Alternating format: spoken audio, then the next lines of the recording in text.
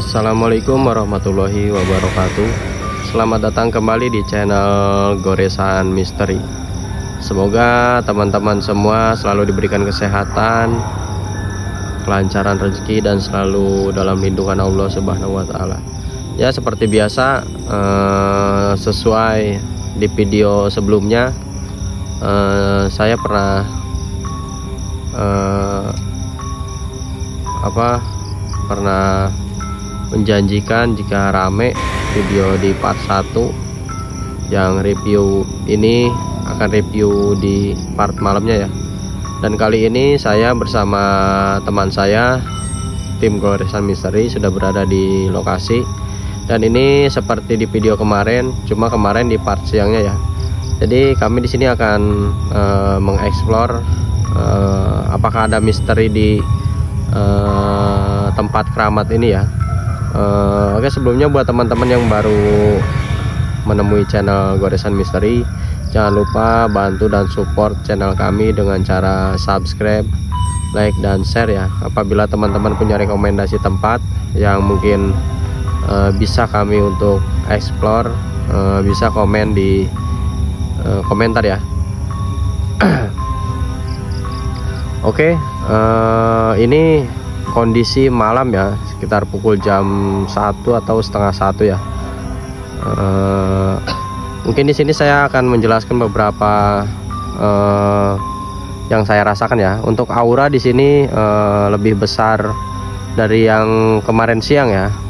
Cuma di sini saya nggak berani untuk uh, lebih barbar ya karena hanya berdua sama teman saya karena kita kekurangan tim uh, semisal ada 3-4 orang mungkin saya berani uh, mengeksplor lebih lebih barbar ya. Sini juga saya mungkin akan mengeksplor ke atas ya. Nah uniknya teman-teman uh, tempat keramat ini tuh menurut cerita yang sudah saya telusuri ya ini tuh makam udah lama ya udah berapa ratus tahun. Dan uniknya ini ini apa makam ini tuh berada di atas tanah yang normalnya ya. Ini tanah normalnya dan ini ada di atas. Dan ini jauh dari perkampungan ya kiri kanan depan belakang. Bismillahirrahmanirrahim. Assalamualaikum ya ahlul kubur. Mungkin yang mau saya telusuri tentang misterinya bukan tentang uh, pemakamannya ya. Tapi eh, mitos-mitos dari warga sekitar bahwa sering ada uh, apa? Saya ngeri ular eh. Sering ada api di pohon ini nih yang jadi uh, mitosnya itu pohonnya teman-teman. Jadi pohonnya ini tepat berada di dekat-dekat uh, pemakaman ya. Sebelumnya uh, saya akan berikan uh, hadiah ya uh, doa untuk ahli kubur ilaruhi khususon ahli kubur saya unilahilmu al-fatihah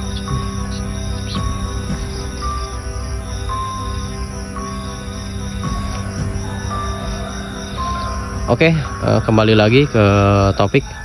Jadi setelah saya telusuri, saya tanya-tanya ke warga-warga sekitar sini. Jadi di sini tuh tepatnya di pohon-pohon ya di pohon ini tuh, ini kan ada pohon satu ya teman-teman itu sering ada penampakan api ya. E, apinya itu di atas pohon. Entah itu api dari mana itu hanya cerita masyarakat sekitar ya. E, mungkin sebagian orang tahu kalau misalkan api itu mungkin ya sejenis banaspati ya. Benar atau tidaknya e, itu mungkin kembali lagi ke kepercayaan masing-masing ya tapi di sini saya sendiri emang merasakan di sini aura-auranya lumayan lumayan dan ada juga uh, barang seperti pusaka ya. Cuma satu hal ya di sini saya nggak berani lebih mengekspor lebih uh, barbar ya. Saya tidak berani untuk kalaupun misalkan tim saya lebih ada 3 4 orang lima orang mungkin saya berani mencoba mengambil pusaka di sini ya. Cuma karena saya berdua sama teman saya jadi saya nggak berani teman-teman.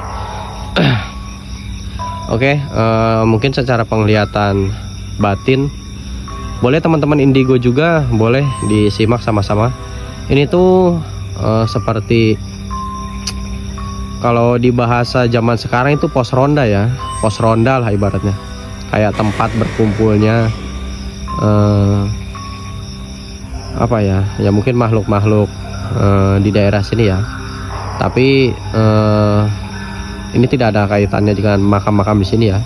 Karena pada dasarnya orang yang sudah meninggal itu ruhnya uh, akan dibawa ke langit ruhnya akan uh, sepenuhnya uh, di akhirat ya. Jadi kalaupun memang ada seperti itu ya mungkin itu uh, korin atau enggak jin ya. Uh, jin menjemal, menjelmakan roh tersebut ya dan ini pohonnya juga lumayan rindang tinggi. Dan kalau penglihatan batin saya pun ini emang banyak sih pusaka ya teman-teman. Cuma nggak tahu milik siapa. Ya wallahu alam juga ya bisa wujud atau enggaknya. Cuma di sini saya hanya akan mereview uh, malam harinya ya. Karena kemarin di video sebelumnya mungkin teman-teman bisa cek juga video sebelumnya itu. Uh, saya mereview di siang hari ya ini kondisi uh, di areanya. Saya nggak berani uh, uh, me, apa mengambil gambar makamnya ya. Karena yang jadi misteri atau mitos di masyarakat itu pohonnya ya teman-teman. Pohonnya tepatnya ada di tempat pemakaman ini. Karena saya percaya makam orang-orang yang dimakamkan di sini itu orang-orang soleh ya teman-teman. Mungkin eh, nanti kalau misalkan saya masih penasaran dan tim saya pun sudah komplit kembali nanti saya akan coba eh, cari apakah uh, di sini benar-benar ada benda pusaka ya. Menurut orang-orang yang mengerti sih seperti sepuh-sepuh di kampung sebelah itu di sini tuh ada ya seperti pusaka pusaka-pusaka peninggalan zaman dulu ya. Dan saya rasakan sebelah di, mungkin searah dengan di balik pohon ini uh, ada sosok uh, wanita wanita seperti wanita zaman-zaman tahun tahun dulu ya wanita lebih ke apa ya dia mengarah ke sana e, wanita seperti zaman sebut zaman Belanda bukan ya lebih ke intinya manusia-manusia zaman dulu lah. Memang di sini juga ada. Saya tidak bisa uh, mendekati ya karena ngeri juga ada ular ya teman-teman. Dan saya pun hanya berdua. Kemungkinan kalau misalkan tim saya sudah lengkap kita explore lebih dalam lagi. Mungkin teman-teman nanti punya tempat-tempat yang uh, lebih ada misterinya ada mitosnya. Nanti bisa komen di bawah.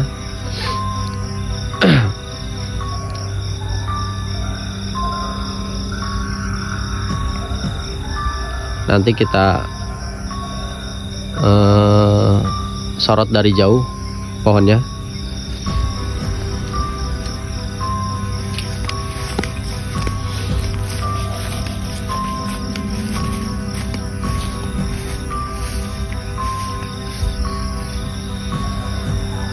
Nah ini teman uh, ini teman-teman kalau misalkan kita sorot dari agak kejauhan seperti ini memang pohonnya rimbun sekali ya.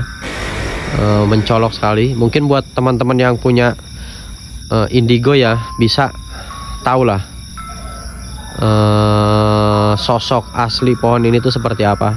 Bisa dijelaskan nanti di komentar. Dan ini lokasinya jauh dari perkampungan ya teman-teman dan jalannya pun kecil sempit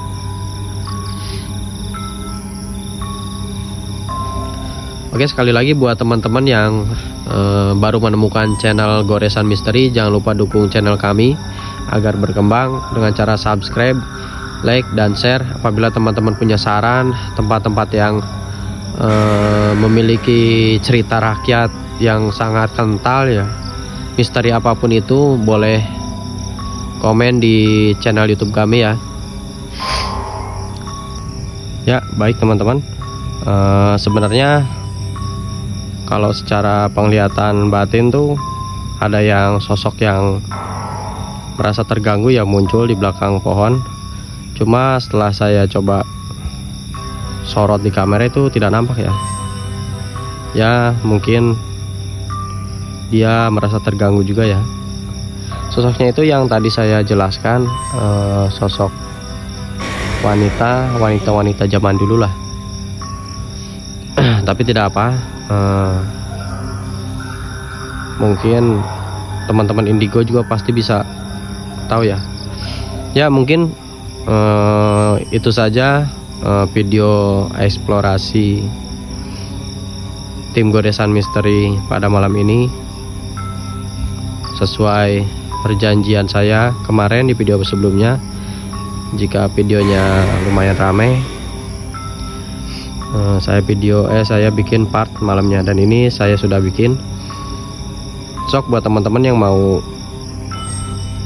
apa request atau punya saran tempat boleh eh, komen di channel YouTube Goresan Misteri ya. Mungkin itu saja terima kasih sebelumnya. Jangan lupa subscribe like dan share. Assalamualaikum warahmatullahi wabarakatuh